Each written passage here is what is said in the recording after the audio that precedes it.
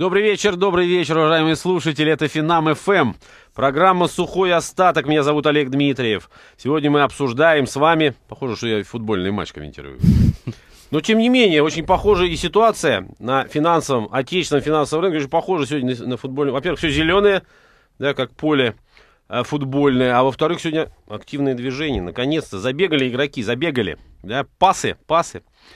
А, и голы. Значит, сегодня ситуацию на российском финансовом рынке мы обсуждаем с моими уважаемыми гостями. Сегодня в студии Иван Кабулаев, управляющий директор Инвест Кафе. Добрый вечер, Иван. Добрый вечер.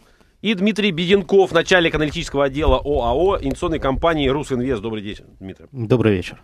Ну что ж, как настроение, во-первых? Отлично. Ваня, я тебя прошу, только ты периодически отвлекайся. Он э, для слушателей сообщаю, да, Иван обложился э, ноутбуками и торгует. Ну, это нормально, на самом деле.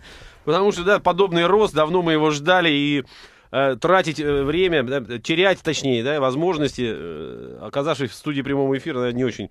Я с тобой согласен, на самом деле, сам переживаю. Вот, но ты периодически отвлекайся. Итак, уважаемые слушатели, я хочу сообщить вам радостную новость, хотя вы они прекрасно знаете. Вы можете позвонить э, в студию прямого эфира и задать вопросы сегодняшним моим гостям. Кстати, а, э, учитывая, что оба они люди торгующие, я не исключаю, что они дадут вам конкретные торговые рекомендации. Телефон в студию 65 10 99 6, еще раз повторю, 65 10 99 6. Либо свой вопрос можете опубликовать на сайте finam.fm, а также поделиться своим видением текущей ситуации на э, финансовых рынках. Итак, мы говорим сегодня об этом. Ну и давайте я прокомментирую ее вкратце, посмотря на общую картину маслом. Итак, на 18.05 ситуация следующая. Ну, уже порадовала вас Настя в новостях, да, РТС прибавляет почти 4%, 14.09, да, 1409 текущая котировка. Кошмар, что делается. Ну, в хорошем смысле снова. Дальше, ММВБ 2, э, больше 2,5%, 2,6 я сейчас смотрю. Значит, э, открылись американцы, присоединились, я так понимаю, к этому оптимизму. Забавно прозвучит фраза, да, если позволите американцы присоединились к оптимизму, который увидели на российских финансовых рынках. Это замечательно. Ну так вот, Dow Jones в моменте прибавляет чуть больше 0,2%, S&P 500 чуть больше 3%, а, барабанная дробь, э, бренд э, выше 100 долларов за баррель, 10,84 текущая котировка, мама родная. Золото, да, 1617, э, ну 20 было, вот чуть раньше я смотрел. Дальше что мы посмотрим? Евро-доллар, да, ну, снизу стучится в 26-ю, 1,2584. Снизу стучится в 26-ю фигуру, ну и открываю сейчас основной набор голубых фишек, э, просто, ну, глаз радуется. Угу. Все как, зеленое. Да, как в огород выходишь вот так, знаешь, вот, и все зеленое, все такое красное. Друзья мои, я прошу вас прежде всего объяснить мне, да, чем вызван этот оптимизм, тем более что, если позволите, да, последние я уже забыл, сколько недель, мы все время ждем каких-то событий, а потом сильно разочаровываемся. Иван, что произошло? Рынки волатильные, они как быстро падают, так и быстро растут. Сейчас э, время оптимизма. Сейчас Через... очередь роста. Очередь да? роста, да. Сейчас порастем, наверное, будем потом корректироваться. Может быть, даже будет э, жесткая коррекция. Ага. А в целом, ну, просто периодически участники забывают о тех проблемах, которые есть, периодически вспоминают, все это подогревается. Ну, это нормально, на самом деле. Невозможно же жить, да, Конечно. все время э, ожидая каких-то проблем. Ну, человек так устроен, психология так устроена. Да? Ну, при, он привыкает к любой, пардон, да, ситуации. Конечно. Угу, угу. Вот, и сейчас время оптимизма, все растет. Э, о долговых проблемах на время забыли.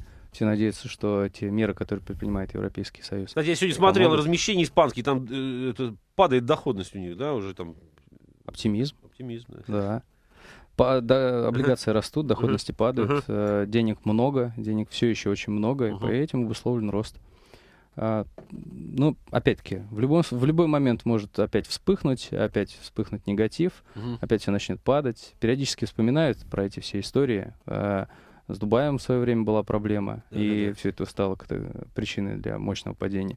Сейчас а, и Греция, Испания, угу. Португалия и так далее. Вот, а, ну, сейчас вот время оптимизма.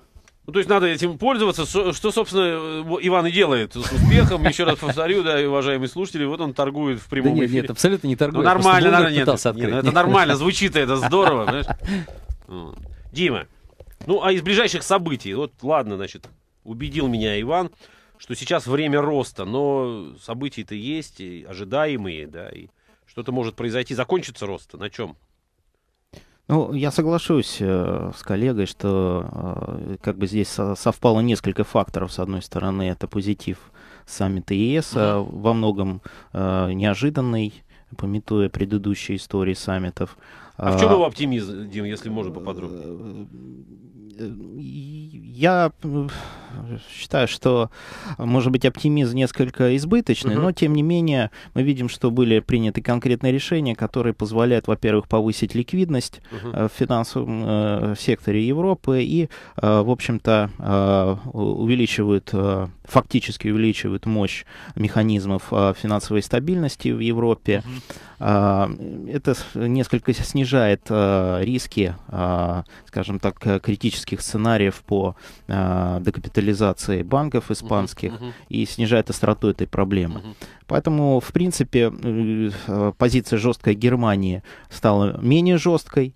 И э, э, это восприняли, было воспринято как очень хороший знак большинством инвесторов, что, uh-huh. э, скорее всего, э, то очевидное решение, а именно по накачке ликвидности, э, финансового сектора, а, оно уже близко, и э, что эти проблемы будут останутся, ну, если не в прошлом, то, по крайней мере, будет, наверное, более э, четкий механизм их решения.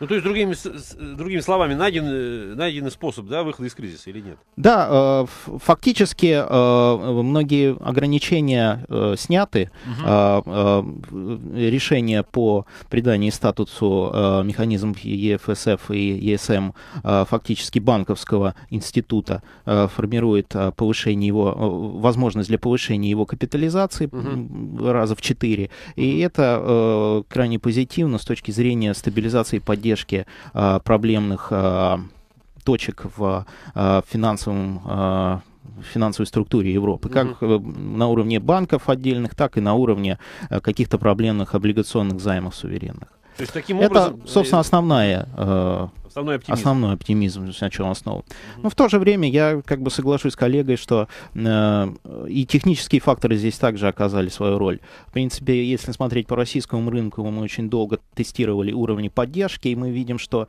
э, продаж не было. А, и на, в то же время достаточно хорошая ликвидность э, обеспечила при позитивных новостях хороший, э, в общем-то, отскок вверх. И, uh-huh. в общем-то, мы его сегодня наблюдаем.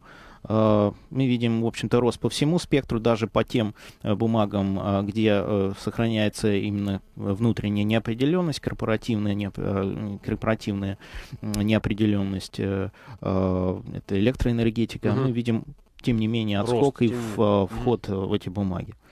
Угу.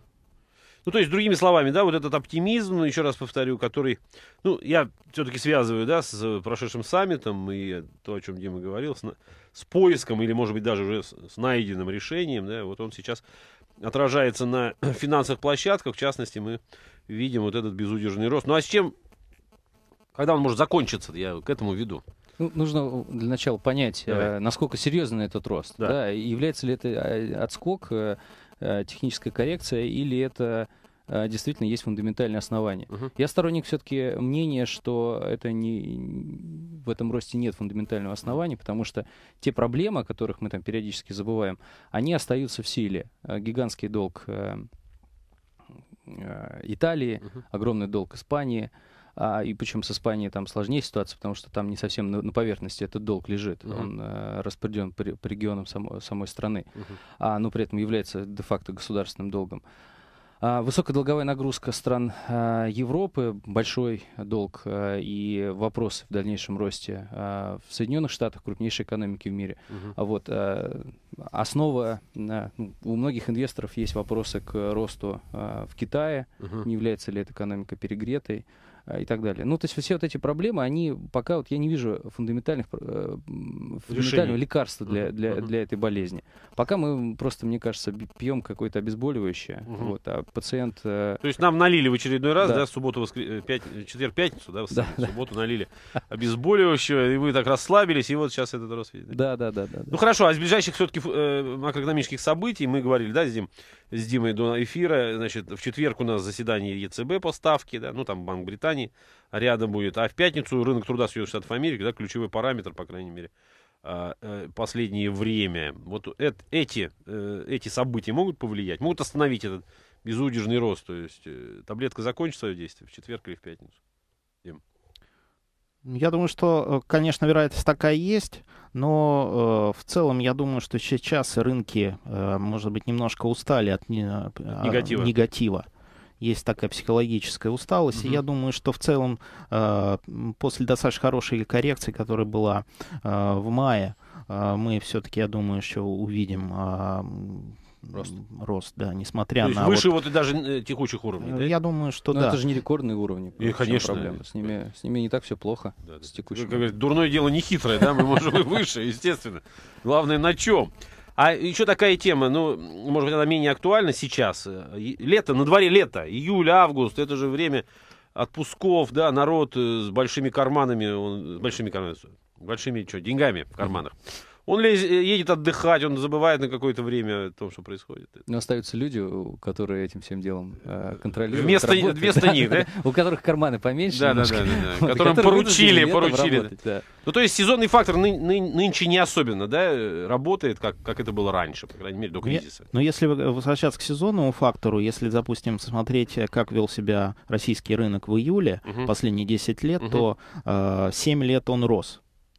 Каждый июль семь- в течение 7 Да, лет в он течение рос. 7 лет. И только по итогам июля в 3, 3 из 10 лет он э, оказался в минусе, падал. Ага.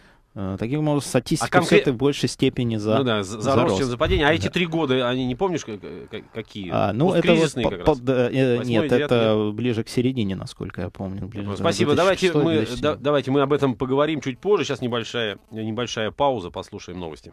Добрый вечер, еще раз добрый вечер, уважаемые слушатели. Это Финам ФМ, программа «Сухой остаток». Меня зовут Олег Дмитриев. Сегодня мы обсуждаем ситуацию на финансовых рынках.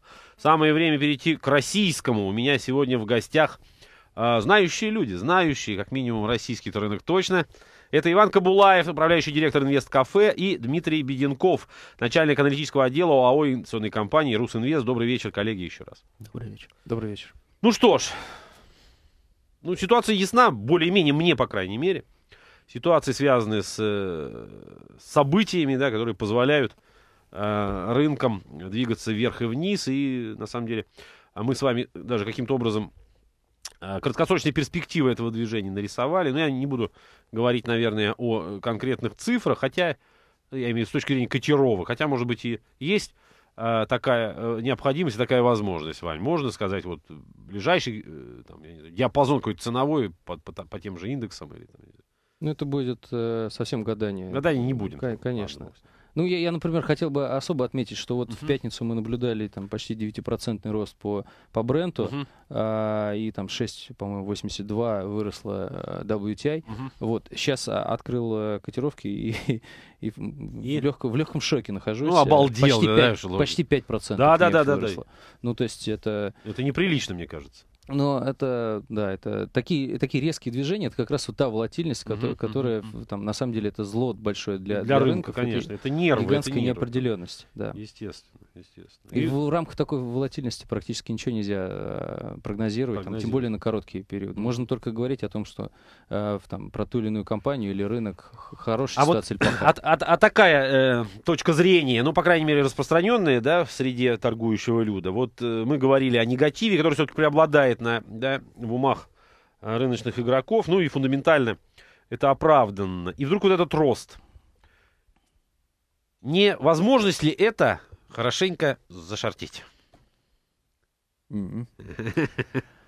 Ну, а, до тех пор, пока а, учетные ставки такие низкие, какие они есть, до тех пор, пока вот эти а, валютные войны, они продолжаются, а, ры- рынки будут а, вот, подвержены все-таки больше фундаментальным влияниям, Мгм. чем техническим. Мгм. Поэтому, ну, ну это как-то играть в эту рулетку с короткими продажами вот на таком неопределенном рынке, ну, можно попробовать, но это рискованно. Лучше не надо, да? В Ну, таком случае каждому тогда лучше да. воздержаться, да, я понимаю. Каждый сам выбирает свою стратегию. Ну, это конечно. понятно. Свою судьбу, я бы сказал.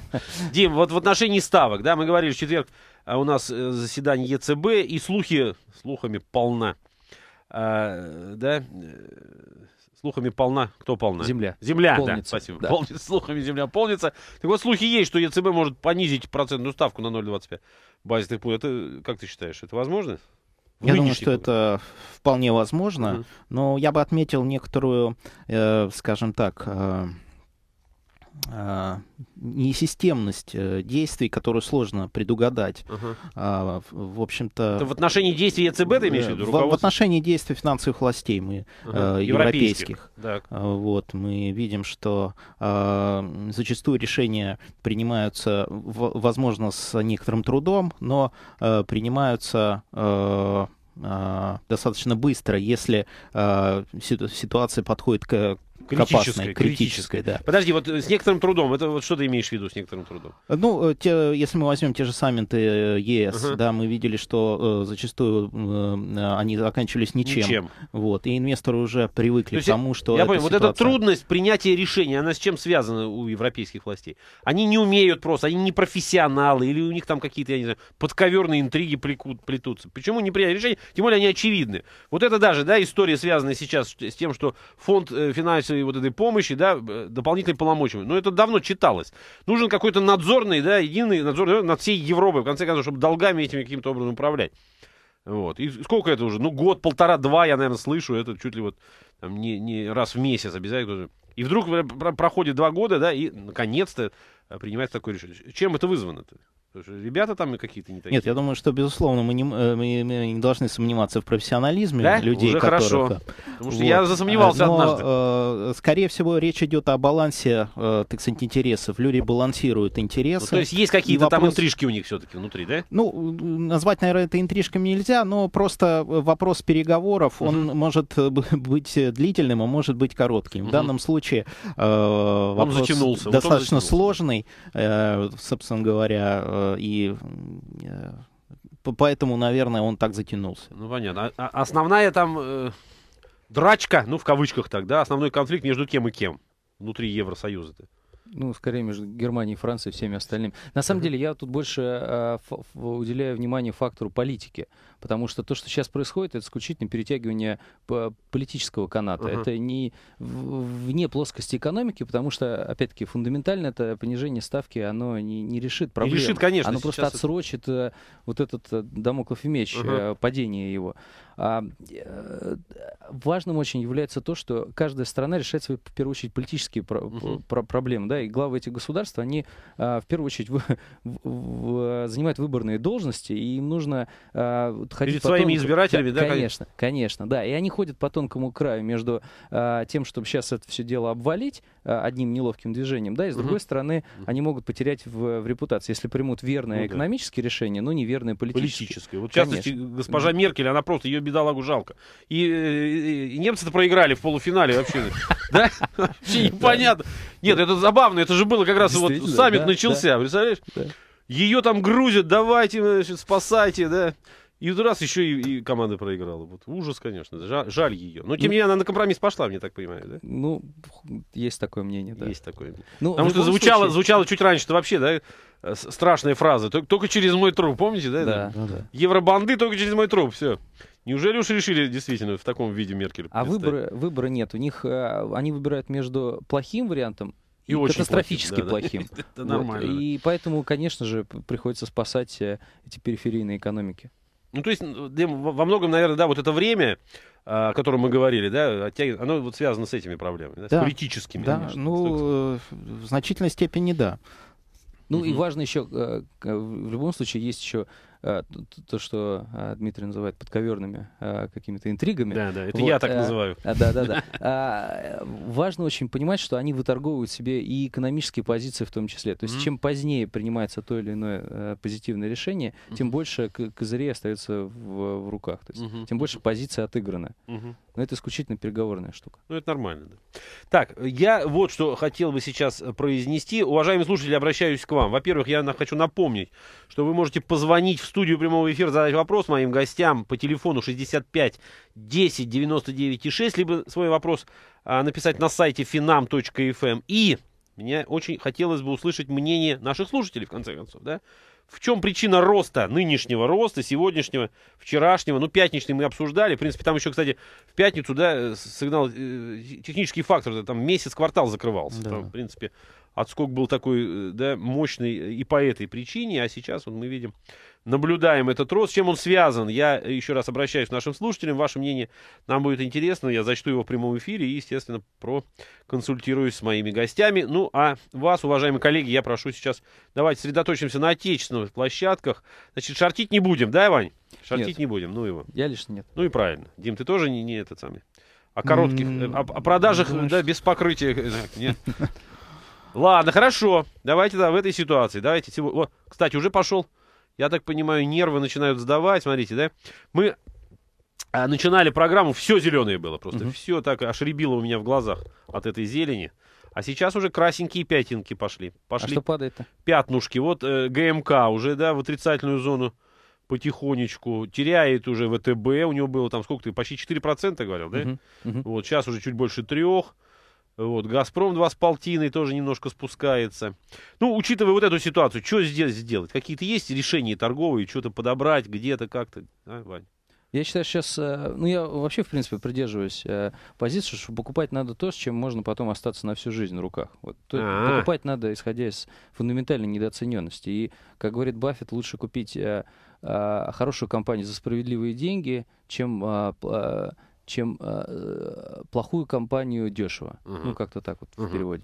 Вот. Ну, то есть э, лучше все-таки приобретать хорошие активы. И там и свой портфель, и, и мы... э, Ну, хорошие, опять, не с точки зрения цены рыночной, а с точки зрения фун- фундамента. Конечно, какого-то. конечно, да. Так, а Вот. чем этот хороший актив, вот с точки зрения фундамента, может быть, чем выбор этот будет обусловлен у тебя? Исключительно фу- фу- Ну, например, например, что это? Ну, Отчетность какая-то сезонная или что там? Отчетность, перспективы сектора Ага, того или иного, там, а, в, в конце концов, да, фундаментальная стоимость компании, которая вот а, в соотношении фундаментальной стоимости и того, то- и того, за сколько можно на рынке сейчас ее купить. Мгм. Вот, исходя из этих Ну, факторов. исходя из этих, я так понимаю, что подавляющее большинство, ну, как минимум, фишек наших голубых, они сейчас, они, да, да, дешевые, да, перспективно для покупки, Перспективно для покупки. Отсюда Знаешь- вывод. Надо срочно брать, можно брать. прямо Конечно. сейчас по текущим. Вот, в частности, «Газпром» сейчас 159 рублей. Берем? А, можно. Ну, Дима. все зависит. а, в покупке акций важно понимать, насколько ты хочешь с ними остаться а, в портфеле. Надолго. То есть, если э, ин- инвестиционный темперамент э, инвестора, он такой очень э, э, нервный, Ага. вот, то, конечно, покупать на, та- на таком росте, ну, наверное, не имеет смысла. То есть правильнее было бы подождать, там, к- когда все будет красным, и покупать, когда все красным. То есть подешевле. как бы. Конечно. Но если э, инвестиционный горизонт измеряется там годами, а Мгм. в лучшем случае десятилетиями, то, конечно, все это надо покупать. В противовес, э, ну, то есть альтернатива какая? Отнести в банк, положить На под депозит. э, 1% годовых в долларах. Ну, и да. Лучше купить что-то другое, Мгм. наверное. Ну, то есть в этом случае, да, и срабатывает вот это, так сказать, э, э, стандарты инвестиционной идеи, да, я Да. сейчас беру, и даже если бы это будет э, через какое-то время дешевле, то рано или поздно все равно это будет дороже. И- Конечно, Дим, конечно. согласен ты? Да, я думаю, что э, здесь как бы может быть два критерия. Первый это э, фундаментальная стоимость, то есть фундаментальная недооценка и э, внутренняя стоимость, которую рынок еще пока недооценивает. Ну вот тут был упомянут Газпром. Э, действительно, по фундаментальным показа- показателям, по мультипликаторам Мгм. э, он крайне дешев. Вот. А, Мгм. Даже на ну, этих уровнях, да? Конечно. Да, да. А, показатель цена к прибыли Ну там да. ниже трех. Мгм. А, Вот. а, и- Но в то же время можно посмотреть на те бумаги, которые а, за последние с начала года упали больше всех, и- но по которым не настолько очевидная ситуация именно Мгм. с фундаментальной точки зрения. Может быть, этим и объясняется такой отскок в бумагах ФСК, холдингом РСК, где мы видим как бы определенные, определенные скажем так, вопросы Мгм. у инвесторов по а, будущему этих компаний, да, То есть вот как раз Вот эта фу- фундаментальная составляющая вызывает вопросы, да? Мгм. А Но- текущая конъюнктура рынка, что называют, Да. тем не менее позволяет покупать. Да. Ну, фундаментально тоже, что значит, э, эле- электричеством пользоваться в России не перестанут. Ну, я думаю, Да. что... Это я имею- мы Вот. имеем в виду Я, бы так сказал, я, я надеюсь на это. Хотя свечи я уже Отрасли. закупаю потихонечку. Не, Извините, ну не все так плохо, Ну. конечно, что чем чем. Ага. Нет, именно в э, организационной структуре, как угу. будет выглядеть сектор. В этом есть как бы вопрос. Ну, то есть вот эта реорганизация, и... да, внутри отрасли, она да. до сих пор непонятна еще, что там. Да? да, это, собственно говоря, было фактором риска. Э, инвесторы продавали на угу. этом. И э, мы видели, э, рынки этих акций существенно перепроданы. Угу. На этом, в общем-то, идет покупка, хотя основной вопрос как бы пока что неопределенность. Он открыт, да, вот да, эта перспектива роста, насколько они насколько они... Какова да... будет структура отрасли, да. организационная структура сектора се... Ну, стоит предположить, что, что этот, когда этот вопрос решится, да, то тогда, собственно, может быть, уже за... будет пора взлет. продавать. уже будет поздно покупать. Да, да. Поговорим об этом чуть позже, небольшая пауза. Добрый вечер, уважаемые слушатели. Все, что вы только что слышали, это чистая правда. Это Финам ФМ, программа «Сухой остаток».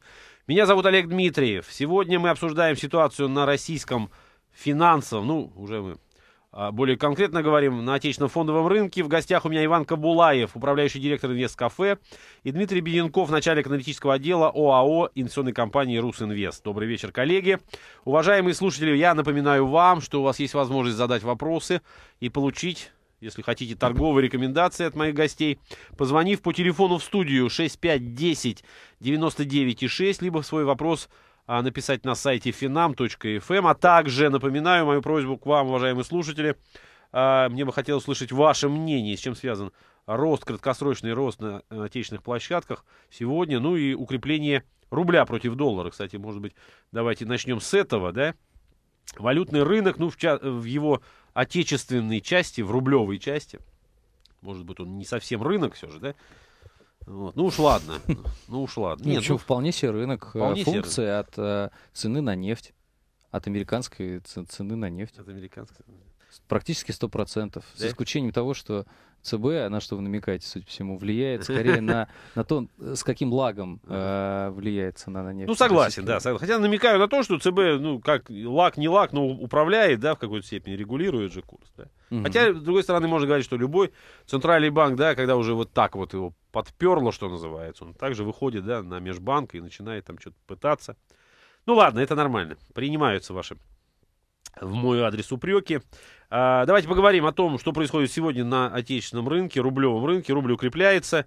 А, вчера, кстати, ну давайте с пятницы начнем. Да, мы видели укрепление рубля в пятницу, сильное закрытие. Опять-таки все связано с внешними факторами, прежде всего и с ценами на нефть. Потом вчера был отскок в другую сторону. И сегодня опять мы видим укрепление. Сейчас я даже посмотрю. Сейчас я даже посмотрю.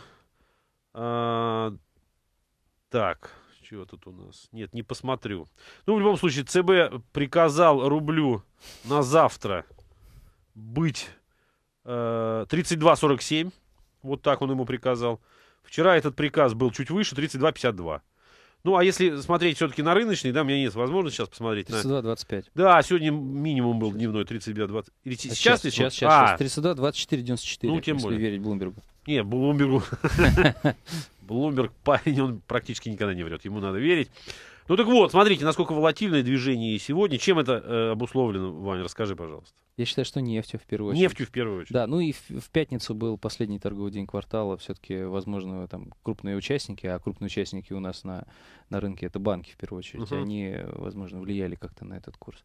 Но ну, я думаю, что ск- скорее там влияние незначительно было. Uh-huh. Нефть. То есть в основном нефть, да? Конечно. А, а если можно, ну, ты уж прости меня, пожалуйста, mm-hmm. я пытаюсь по-школярски. А как вот технически, что такое нефть? Нефть растет, и почему рубль укрепляется? Uh, нефть, трейдеры смотрят за, uh, за нефтью uh-huh. и, uh, основываясь на своих моделях, там, совершают те или иные сделки. Там, укрепляют позицию или ослабевают ее, уходят там, и так далее ну, играют против или... Я, я понял. Ну хорошо, это с точки зрения вот, э, ну, игрока говоря... рынка, что называется, да, да, активного участника. А с фундаментальной точки зрения, ведь есть же связь, прямая связь, да? Корреляция так называемая, в данном случае прямая она. Рост нефти э, приводит к росту рубля. Да. Ну или наоборот, рост рубля к росту нефти. Нет, а, нет Что нефть первично? Нефть, нефть ну, первично. Конечно. Ну, вот. российская экономика это не очень большая экономика ну, да. в мировом. Ну вот с фундаментальной масштабе. точки зрения, да, нач... Э, как, как это, вот это осуществляется? Растут цены на нефть. Растут цены на нефть, доходы бюджета растут, э, сни, ну, точнее, в данном случае сейчас uh-huh. снижается бюджетный дефицит, uh-huh. э, э, ну, соответственно, это влияет на то, э, как, э, э есть ли потребность ослабевать рубль со стороны ЦБ. Мгм. Ну, то есть, э, чтобы выполнить социальные обязательства государства, Мгм. нужны рубли именно. Да, доллары да. ему не нужны. Да. И оно может либо напечатать, э, условно говоря, больше рублей, обменять их на меньшее количество э, долларов, Да. либо наоборот. наоборот. Либо наоборот. Вот. И вот э, как бы с фундаментальной точки зрения вот люди вот э, э, там, условно говоря, те трейдеры или э, д- работники дилинга банков, они вот э, ориентируются именно на это. То есть я правильно, Дим, я правильно понимаю, смотри, значит, выручка валютная растет, да, если цена на нефть растет, выручка валютная растет, и, ну, там, центральный банк или э, участники рынка нефтяного, да, или банки коммерческие, они все активнее меняют доллары на рубли, ну, по понятным причинам, и отсюда так это получается. Ну, э, м, да, Да? грубо говоря, да. Э, Ну, мы видели в первом квартале, допустим, когда у нас рубль укреплялся активно, Мгм. мы видели рекордные э, данные по положительному сальдо торгового баланса России, около 20 миллиардов Мгм. долларов, такого никогда не было в месяц. Вот, и, и на этом фоне мы увидели резкое укрепление рубля. Мгм. Потом э, мы увидели, соответственно, э, на техническом факторе э, падение цен на нефть. Мы увидели также э, резкое обесценение рубля.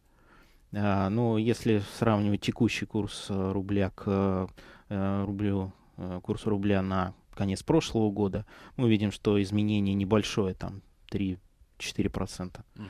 То есть, э, То в есть в целом мы пределах видим- разумного, что называется, да? Мы Э, все время говорим, да. что рубль волатилен против доллара. Ну, действительно, он может за короткий промежуток времени просто показать там какие-то головокружительные абсолютно движения. А если говорить на больший временной период, да, получается, что он не такой уж и сп- спокойный парень-то, на самом деле. Зря мы на него все время гоним. Правильно, Вань, нет? Ну, почему? Все-таки он неспокойный парень. Спокойный? Э, да. Когда-то доллар стоил там 28,90, э, 28, Это когда, когда-то? 28,50, ну, полгода назад, там, ну, что-то типа того. Не, просто я вспомнил, что мы тут две недели назад вспоминали, А. вспоминали курс рубля к доллару. 6 рублей? Не, не, в А. В Советском Союзе А, 60... 60 копеек. когда Это был государственный курс. Тогда, тогда не было рыночной экономики, нельзя было конвертировать Ну, это понятно. все. У нас есть вопрос, давайте послушаем нашего слушателя и, соответственно, попытаемся на него ответить. Сергей, добрый вечер, говорите, вы в эфире.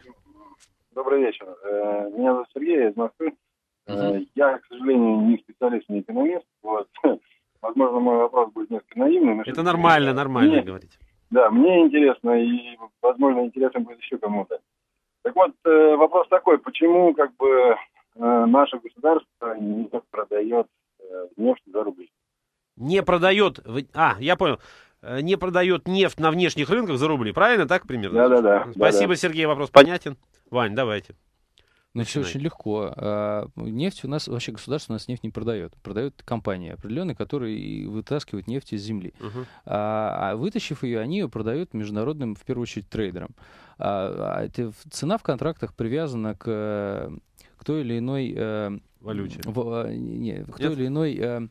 э, к тому или иному биржевому показателю. Обычно там берется не- некий усредненный. Ну, нефть сложно физически продать там за одну секунду, а Ага. фьючерс на нефть можно купить или продать за одну секунду. Мгм. Поэтому берется а, за определенное количество времени а, средний показатель, и а, в связи с тем, что основные потребители российской нефти находятся за пределами Российской Федерации, Мгм. и основная э, площадка, на которой а, определяется цена на нефть, находится за пределами Российской Федерации, поэтому все, все определяется в долларах. Ну, Ну, то есть, так. если позволишь, да, я Да. попытаюсь просто Попроще. попроще сказать, да, так как я Точно. понимаю это.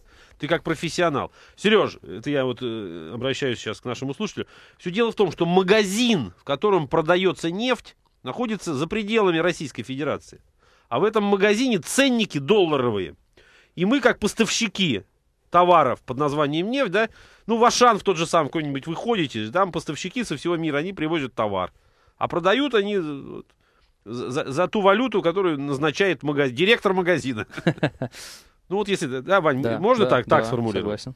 Вот, собственно, весь, да, ответ на, на- на этот вопрос. Хотя а, я, я, насколько я помню, неоднократно, ну, может быть, хорошо, несколько раз, как минимум, вот за, э, не- за пару лет а, слы- слышались предложения, мнения нашего руководства о том, что неплохо ли, да, неплохо бы сделать уже, в конце концов, доколе, да, вот доколе.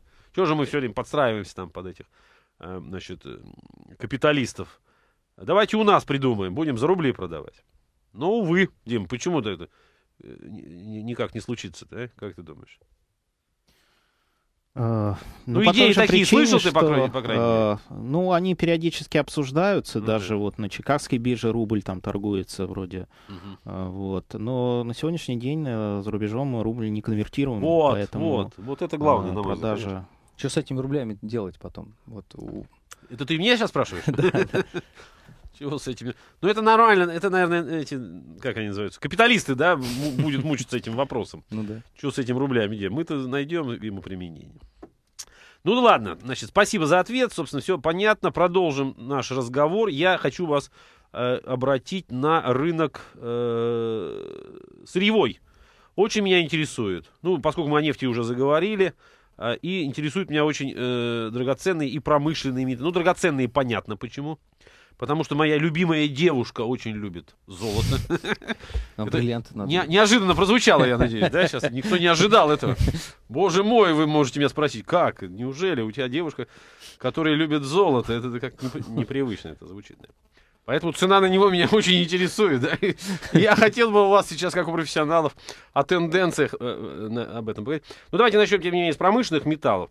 Вань, чуть выше ты говорил о а с фундаментальной точки зрения, с мировой, да, фундаментальной точки зрения, о том, что многое завязано на Китае.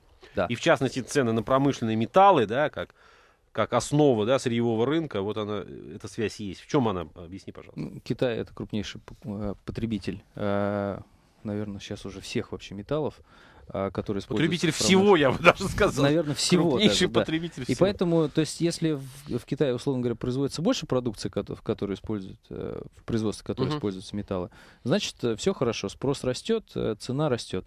А, а если меньше, то все плохо, соответственно. Ну, а в связи с тем, что рынки живут ожиданиями, они закладывают там большой горизонт, вот эти свои прогнозы по потреблению. Мгм. А, ну, плюс с металлами а, есть одна особенность, там нету, а, нет опека, который есть э, в нефти, да? Ну, опека, это, бог с ним, как он называется, это некий регулятор, да? Да, некий регулятор, который может э, именно производство э, ресурса Да. увеличить или уменьшить. Причем Мгм. очень... Квоты эти, да, да, да, квоты, квотами регулировать как-то. Мгм. Да и физически можно поставлять больше нефти. А с металлами сложнее с, с, с- с этим Мгм. дело обстоит.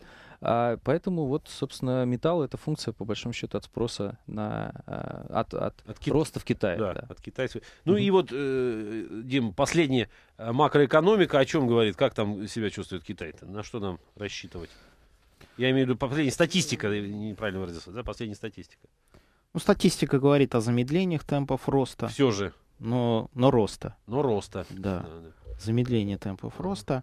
И, собственно, на этом мы видим, что цены на металлы, они, в общем-то, если сравнить с началом года, они, в общем-то, не сильно по большинству промышленных особенно Мгм. изменились. Мгм. Там небольшой минус мы видим по никелю и пал- палладию где-то Мгм. в пределах 10%, но в целом золото, серебро, э, золото как инвестиционный материал, Мгм. серебро как промышленный, мы видим небольшое изменение в пределах 5%. Да, да, действительно. Э, Да, я согласен с тем, что Китай, безусловно, это один из главных факторов, который влияет на цены на металл. Э, ну, Кроме того, здесь э, также стоит отметить и спекулятивную составляющую. Э, Рост спроса на рисковые активы, которые мы наблюдаем Мгм. сейчас, в то же время ну, неизбежно приведет к тому, что спрос на металлы также Если можно, уточни, расти. пожалуйста, рисковые активы это кто? Рисковые активы это фондовые активы. То есть э, акции прежде всего, да? акции, э, в том числе фьючерсы на э, сырьевые товары. А Вот, спрос на них, безусловно, будет расти. То есть в этом контексте вот слово рисковый, да, я хочу просто опять понять, и, ну и может быть понятнее будет слушателям нашим. А, в этом контексте риск это то, на чем можно заработать, да, как минимум там даже в краткосрочной перспективе какой-то. Вот этим определяется понятие рисковые, да. Ну, да, на, на которых можно больше заработать О, при вот. хорошем стечении Да. обстоятельств. Обстоятельства, причем обстоятельства опять стекаются с точки зрения вот этой вот да, фундаментальной составляющей, да, мировой. Да. Когда она хороша, эта составляющая, то есть мы показываем, Китай растет, да, Штаты восстанавливаются, Европа там забыла о кризисе. А, Я прошу прощения, очень интересная тема, и у нас есть звонок. Игорь, мы вас а, слышим, я, я вас вижу, но э, зададите вы после а, паузы, да, поговорим чуть позже. Еще раз добрый вечер всем, уважаемые слушатели Финам ФМ, программа «Сухой остаток». Меня зовут Олег Дмитриев. Обсуждаем ситуацию на российском фондовом рынке. Сразу же я начну со звонка, потому что Игорь э, все новости ждал этой возможности. Давайте послушаем. Игорь, добрый вечер, вы в эфире. А, Здравствуйте, Москва, Игорь.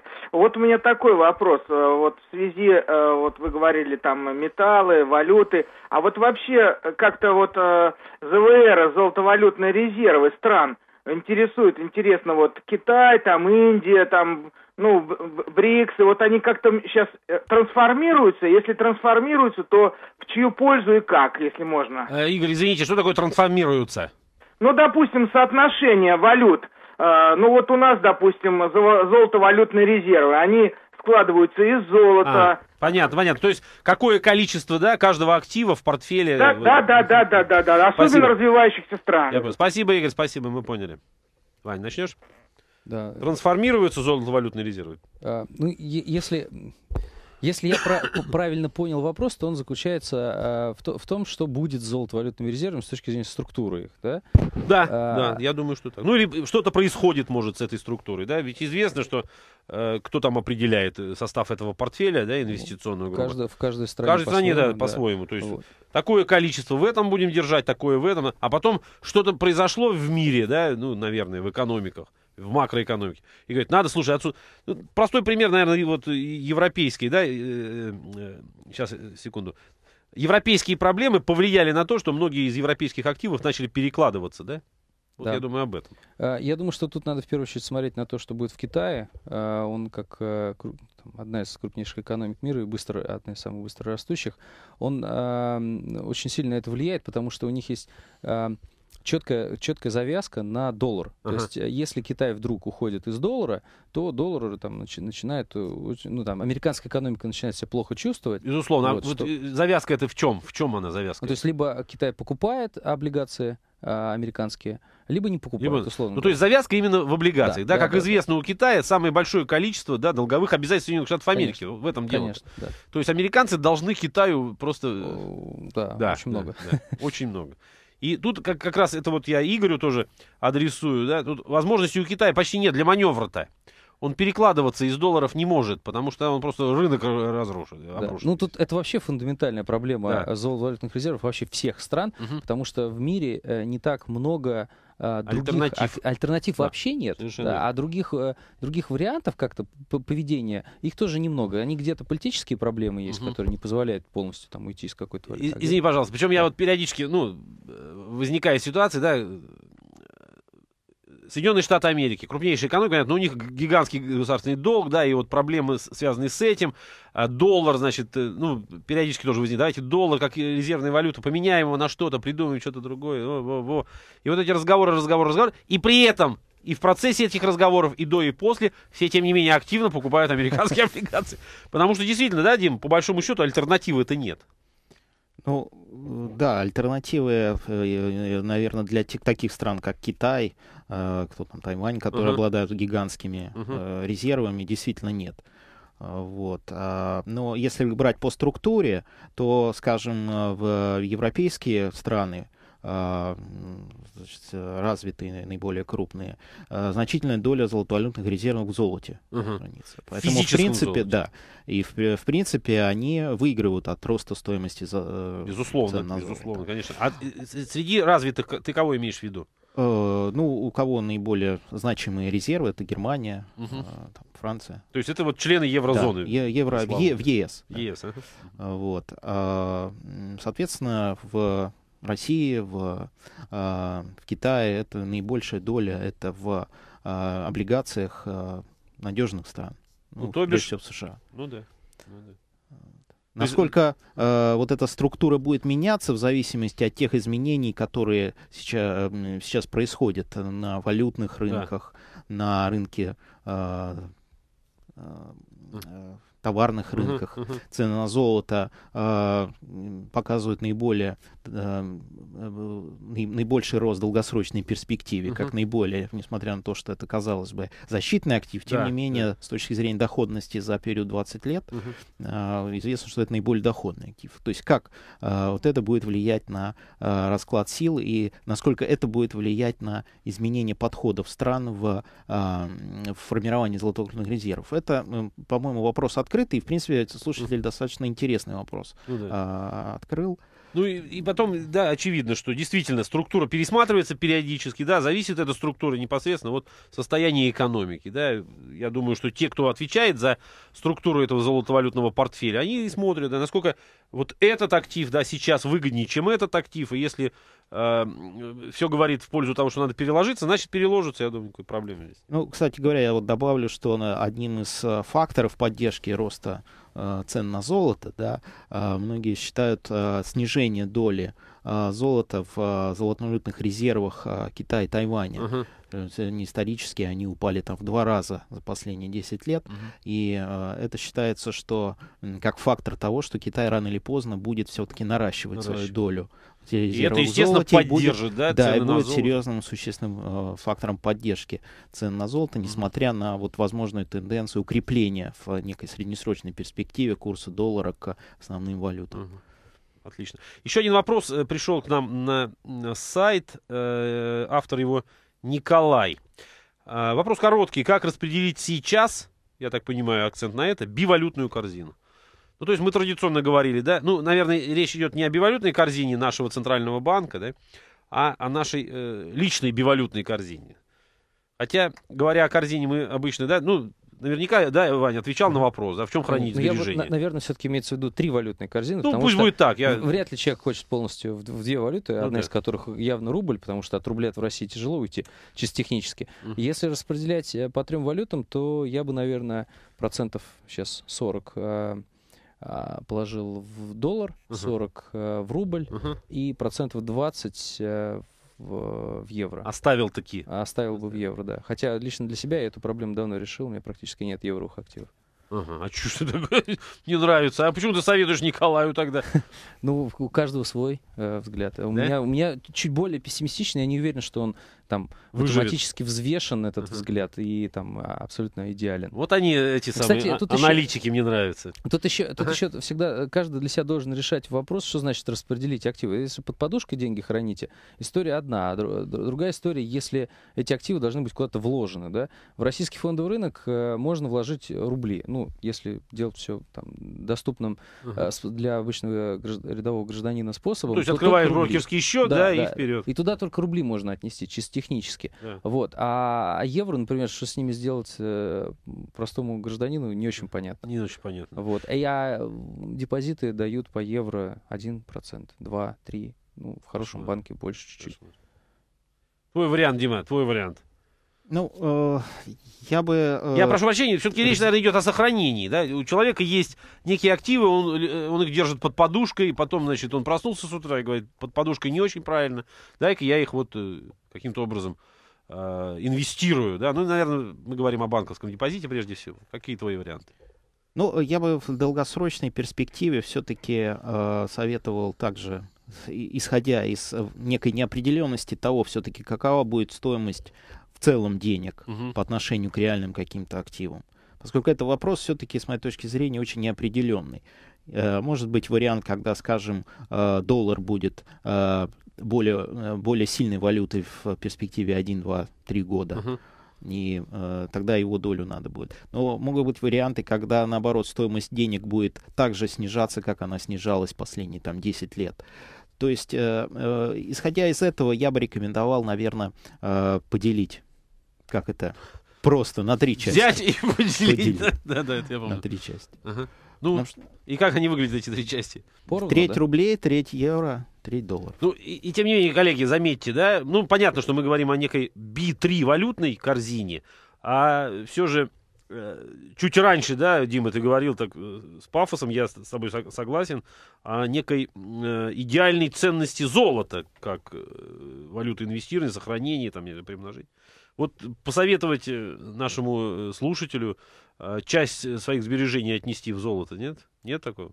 Золото, смотря какое золото. Ну, вот Если- тоже варианты, У нас, конечно. к сожалению, в России есть НДС на золото для, для, для Для всех. физлиц, И, да, да. Ну, физлицо просто не может его э, никуда зачесть потом. Мгм. И для него это реально проблема. То есть Это ты, проблема, да. получая, покупая золото, ну, то вот в- Физическое, физическое золото, То да. Ты попадаешь Ты- сразу на Да, переплачиваешь немножко. переплачиваешь. да. Вот. И эта комиссия, она на самом деле убивает э, для большинства людей ценность именно физического золота. А вкладывать в какие-то производные от золота, там, э, фьючерсы или, или еще какие-то Ага. там бу- бумаги. Э, Ну, это Не по большому правильно, счету... да? Нет, это просто на... Вступая на эту территорию, надо знать правила игры на этой территории. Это не то же самое, что купить слиток и положить его дома. Да, и не то, что подушку. самое, что открыть банковский депозит. Да, да? абсолютно тоже. Да, это уже некая профессия. Ага. Да. Дима, ты как Да. думаешь? Да, я согласен. И с точки зрения, скажем, э, ценности сбережений, один из э, критериев это не только ценность э, и рост или снижение стоимости, Мгм. но и такой фактор, как ликвидность. Да. И ликвидность, безусловно, представляет только денежные средства.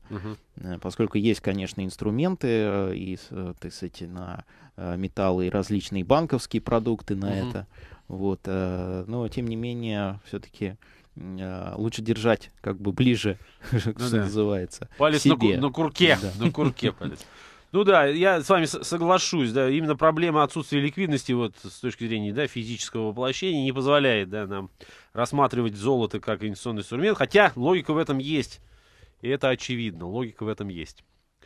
Так, хорошо, ну давайте продолжим, значит, у нас э, с вами время, ну, если позволите, подвести некие итоги, подвести некие итоги, я э, сейчас еще раз бегло прокомментирую э, ситуацию на рынках в целом, которая складывается уже на окончании нашей программы. А Вот. Ну, э, отечественные индексы закрылись, также они да, показали замечательный прирост. Американцы все-таки далеко не уходят вверх, так и держатся в пределах 0,3%. А, Вот. Нефть выше 100, э, ну, на сегодня... За бренд.